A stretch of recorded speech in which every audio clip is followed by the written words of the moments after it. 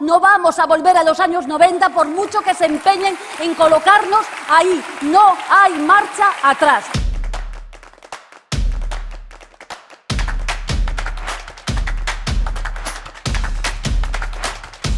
Quiero daros unos datos, como siempre hago. Los datos, lamentablemente para Andalucía, no son buenos. Andalucía lidera la segunda tasa de paro más alta de nuestro país, seis puntos por encima de la media. El 36%, también seis puntos más que la media de paro juvenil de nuestro país.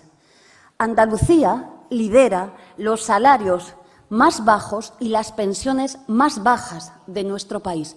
Un millón y medio de pensionistas andaluces tienen una pensión media de 970 euros al mes. Y hay algunos que nos dicen que no quieren revalorizar las pensiones de conformidad con el IPC.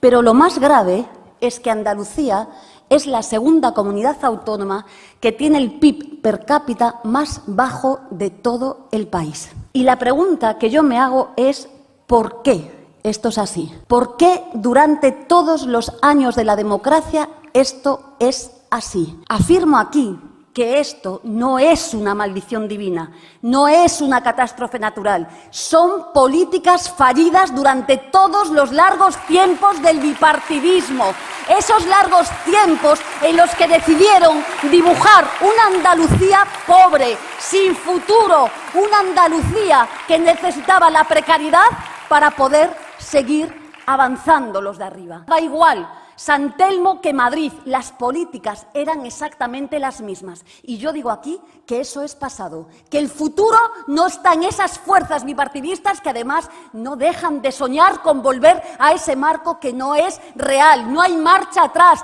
no vamos a volver a los años 90 por mucho que se empeñen en colocarnos ahí. No hay marcha atrás.